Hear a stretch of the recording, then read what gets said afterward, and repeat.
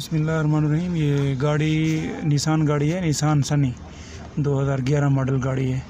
तो क्या है, इधर चेक लाइट भी नहीं आ रही, ये सिक्योरिटी लाइट इसकी सटेबल है देख रहे हैं। सिक्योरिटी लाइट सटेबल है और गाड़ी का कम्युनिकेशन नहीं हो रहा, ठीक है ना? जब हम सेकेंडर लगाते हैं नो कम्युनिकेशन आ रहा है फीडबैक आ रहा है, ठीक है? और चेक लाइट भी नहीं आ रही। तो गाड़ी में फॉल्ट है कहीं पे, आगे चल के बताता हूँ मैं आपको। ये सामने इसकी रिले लगी हुई है, रिले, ये रिले की लोकेशन है। मैंने इनको खोला हुआ है, ये सामने रिले लगी हुई है।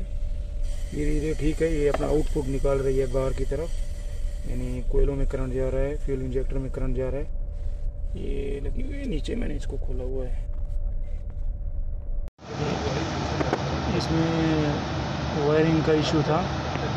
ये देखें, पूरी वायरिंग जली हुई है इस गाड़ी की। अभी हम बना रहे हैं। इसकी चेक लाइट भी ऑन नहीं हो रही थी और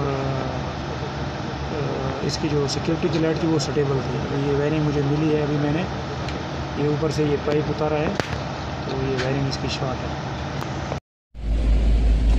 अभी जो मेरी वायरिंग जली थी ना, इसकी वजह से ये मेरा कंप्यूटर भी ख़राब हो गया है। आईसी जल गया है इसका, ठीक है? अभी मैंने दूसरा कंप्यूटर डाल दिया है। सेकंड हैंड कंप्यूटर है, दूसरा डाल दिया है। अभी मेरी गाड़ी स्टार्ट है, अभी मैं आपको चेक कराऊँगा गाड़ी। अभी मेरी गाड़ी माशाल्लाह सही है। और वायरिंग जली है ना, इस वजह से कंप्यूटर भी ख़राब हो गया था। चेक लाइट नहीं आ रही थी सिक्योरिटी लाइट भी सटेबल थी। तो फ्रेंड अभी मेरी चेक लाइट जो है वो आ गई है, ठीक है? सिक्योरिटी लाइट भी चली गई है। और मेरी गाड़ी अलहमदिल्ला स्टार्ट है, ठीक है ना? तो मेरी गाड़ी का जो है कंप्यूटर ख़राब था, ठीक है? कंप्यूटर अभी मैंने दूसरा डाल दिया। अभी बिल्कुल सही है, आप देख रहे हैं चेक लाइट भी है। पहले चेक लाइट नहीं थी सिक्योरिटी की लाइट सटेबल थी।